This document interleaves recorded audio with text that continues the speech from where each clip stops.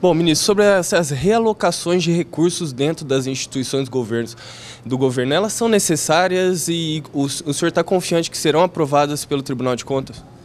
Olha, em relação às contas, nós temos procurado responder todos os apontamentos que o Tribunal de Contas uh, da União fez. É, o tribunal ainda vai aguardar essa manifestação para tomar uma decisão sobre isso, mas o fato é que nós estamos plenamente confiantes porque nós temos, temos trabalho técnico examinando cada um dos apontamentos e mostrando por dados, números, que as sistemáticas de eh, pagamento, de repasse aos bancos públicos, a sistemática de contingenciamento, acompanharam e reproduziram sistemáticas anteriores que chegaram a ser inclusive analisadas pelo próprio Tribunal de Contas e consideradas regulares no passado.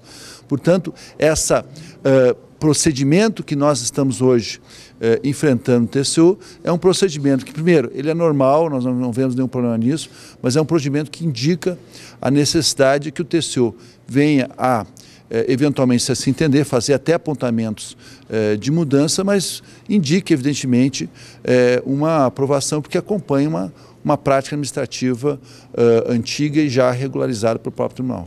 Ministro, o governo enviou uma nova proposta de desvinculação de receitas da União, estendendo essa ferramenta até 2023. Ministro, o governo não tem uh, mecanismos de controle econômico para que esse tipo de realocação ou de desvinculação sejam menos constantes? Para que chegar ao final do ano não tenha que, não sei, alocar recursos, puxar daqui, puxar dali, ministro? Como que o governo pode aprimorar essas ferramentas econômicas? O grande problema é que nós temos hoje um grande nível de vinculação das receitas eh, em relação a despesas públicas. Você tem uma ideia, por exemplo, no âmbito da saúde, a obrigação de uh, despesa ela é obrigatória, não, é, não, não, há uma, uma, não há uma vinculação prévia de receita, mas há uma vinculação prévia de despesa. Então você tem que gastar na saúde um determinado volume de receita. Então essa lógica é, vinculativa hoje ingessa o orçamento em mais de 80%. Você tem pouca margem de decisão discricionária nesse processo.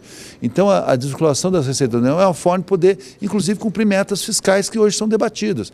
Se se há uma exigência também legal, se há um debate nacional que exige cumprimento da meta, essas metas exigem que haja algum grau de discricionalidade de decisão da administração pública. E isso se dá através dos instrumentos. Ou, ou você desvincula todo orçamento e cria e estabelece a discricionalidade para que essa decisão possa ser tomada, ou você tem que ter margens, que é o que, por exemplo, a DRU faz.